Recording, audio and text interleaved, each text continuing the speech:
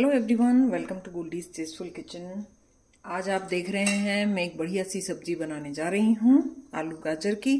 इसके लिए मैंने डेढ़ टेबल स्पून सरसों का तेल लिया है। पहले उसको अच्छे से गर्म कर लिया था, फिर ठंडा किया है। इसमें मैं डाल रही हूँ थ्री फोर्थ टी स्पून आधा से एक चम्मच जीरा।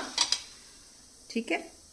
जीरा भून जाए। बहुत ज़्यादा हमें एकदम तेज नहीं करना है ना? उसके बाद ये दो मीडियम साइज़ की कटी हुई प्याज डाल देंगे।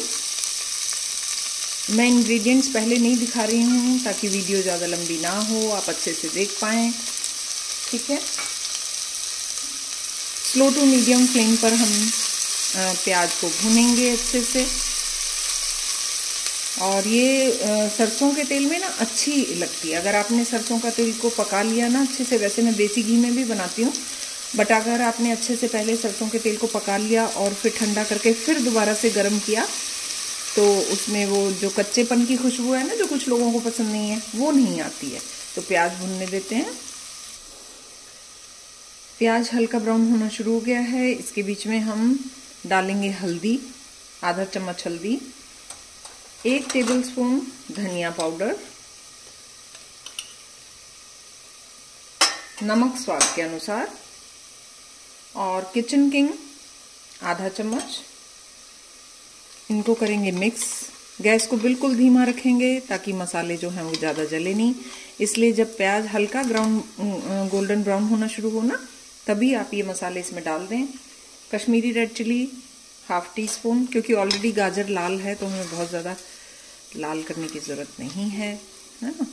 और अब हम डालेंगे इसमें ये दो कटे टमाटर, एक चम्मच ग्रेटेड अदरक और एक हरी मिर्च को भी हमने बारीक काट लिया है। इनको हम सबको डाल देंगे।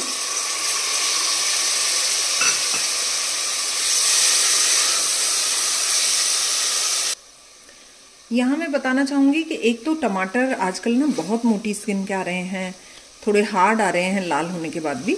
तो मैंने उनको ना पिलर से जो आलू छीलने वाला चक्कू होता है ना, उससे छील लिया था, ताकि वो छिलका छिलका मुँह में ना आए और जल्दी से गल जाए। और अदरक जब ग्रेट करके आप टमाटर के साथ डालेंगे ना तो इसकी खुशबू बहुत ही अच्छी आती है। प्याज के साथ जलने का डर रहता है और नीचे चिपकने का भी डर रहता है। तो अदरक आप इस तरह से टमाटर के साथ डाल सकते हैं। देखिए, टमाटर बहुत अच्छे से भुन गया है, मैश हो गया है और ये देखिए, छोड़ने लगा है कुकर का तला, है ना?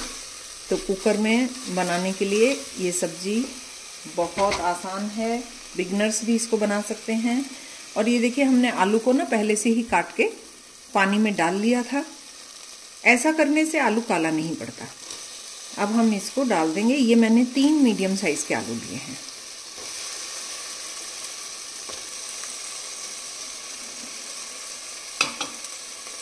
आलू को थोड़ा सा भूनेंगे। बहुत ही अच्छी सब्ज़ी बनने वाली है। क्वांटिटी में डिस्क्रिप्शन बॉक्स में दे दूँगी। एक बार मेथड पता लग जाएगा ना। मैं ज़्यादा लोगों के लिए बना रही हूँ। आप कम के लिए कम कर सकते हैं। बस एक बार मेथड पता लग जाए ना तो फिर इजी हो जाता है।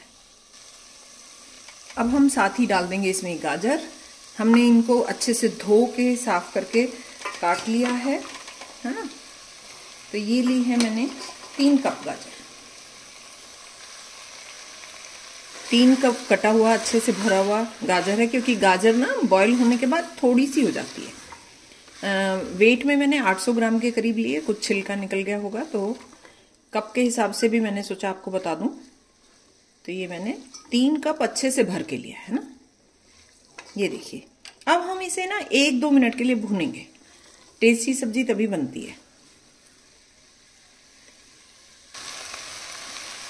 दो तीन मिनट हमें, दो मिनट पूरे मतलब हो गए हैं गाजर को ऐसे भूनते हुए, चलाते हुए। इससे अच्छी खुशबू आती है। अब हम इसमें डालेंगे थोड़ा सा पानी।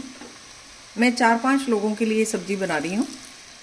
थोड़ा सा इसमें पानी डालेंगे ताकि कुकर में लगे ना, गाजर भी अपना पानी छोड़ती है। ठीक है?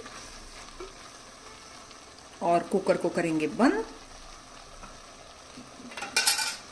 दो विसल लगवाएँगे मीडियम हीट पर। हमने कुकर को खोल लिया है। चेक करते हैं।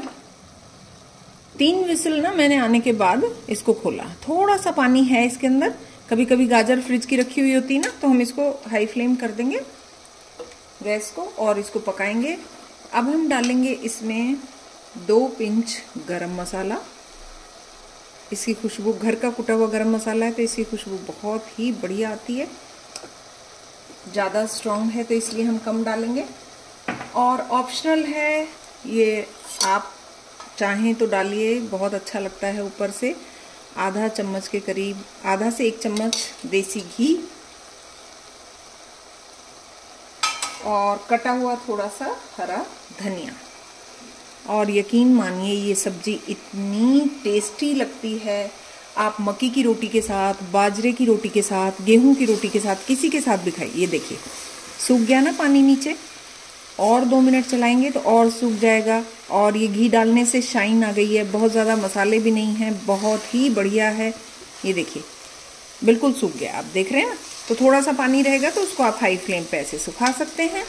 मिक्स करें और ये हमारी सब्ज़ी सर्व करने के लिए तैयार है। और ये देखिए, धुआँ निकल रहा है। और सब्ज़ी हमारी जो है वो बनकर तैयार है। कुछ उबले हुए हरे मटर भी मैं इसमें सजा देती हूँ। और ये देखिए। है ना मज़ेदार? Thank you so much for watching my recipe